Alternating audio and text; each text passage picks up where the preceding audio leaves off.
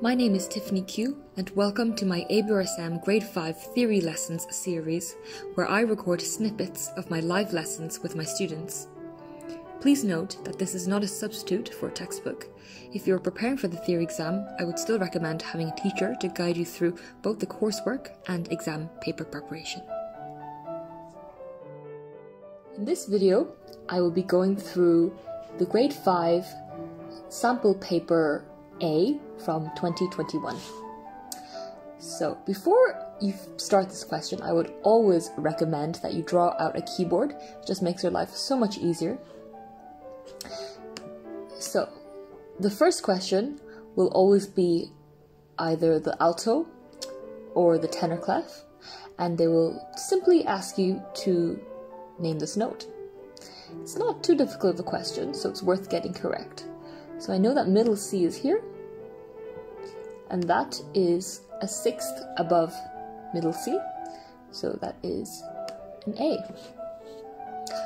This one here, tick one box to show the correct enharmonic equivalent of this note. So an enharmonic note is a note that has the same pitch as another note but is written differently on the stave. So in this case, this is a D double flat. I'm going to use a different color to show this note on my keyboard. This is a D, this is a D flat, and this here is a D double flat. Okay, and then I'm going to check all of these notes as well. This is an A double sharp, this is A, A sharp, A double sharp. Nope, not quite the same note as this one. C sharp, well, is this note here. So again, not quite the same. B sharp, well, this is a B, and this is a B sharp, which is this note that I'm looking for. So B sharp is the correct answer there. Next, we have the transposition question. For this question, you will need some manuscript paper. I'm also going to draw one out here. This question is very wordy. It says, here is a bar written for the trumpet in B flat. We don't really need to know that because they will actually give us the transposition. So this here is the important sentence. This bar has been transposed down a major second to be at sounding pitch. So that's really the only sentence we really need to pay attention to. So it's been transposed down and the interval is a major second. I'm just going to write that out here so I can really see. So the first thing that I transpose is the key. I take a look at the key here, and that is four sharps, meaning that it is E major. I know that a major second is two semitones. So if I go to my E over here, and I go down two semitones, that's one semitone, that's two semitones, we get D major. And just double check that D and E is really a second, yeah, that's a second. So that's correct. So the new key is D major, which has two sharps, F sharp and C sharp. So that's step one done. Step two, we're going to move all the notes, in this case down a second, so that F becomes an E, the E becomes a D, the B, we move that down to make that an A, and finally the C is moved down to a B.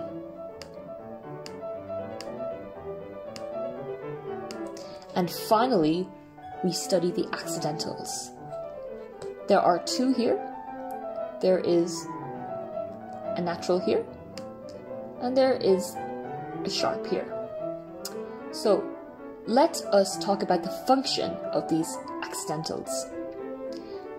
This note used to be an F sharp according to the key signature here, but the natural has made it lower by a semitone.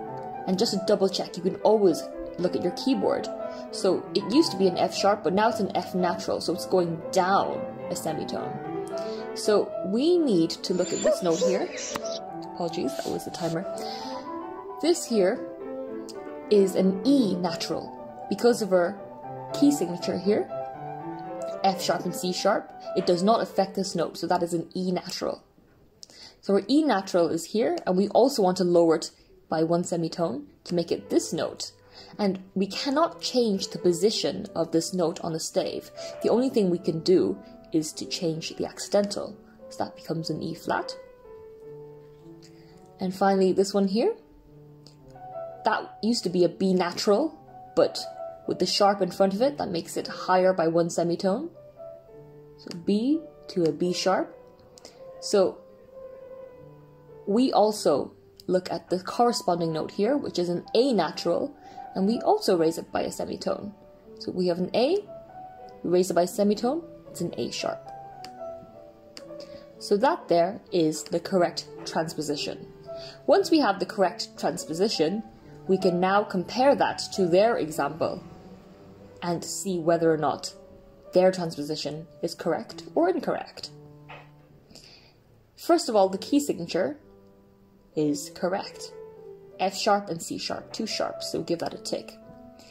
If this one is wrong, you have to be extra careful with all the other notes and make sure that you're reading everything in the right keys. This here is an E natural, whereas we have an E flat, so that's incorrect.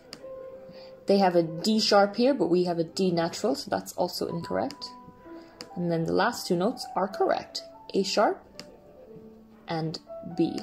It's very easy for me to check this because the key signature is correct, so I don't really have to take into account of the key signature because if this is an A sharp, I know this is an A sharp. If this is a B, I know this is also a B.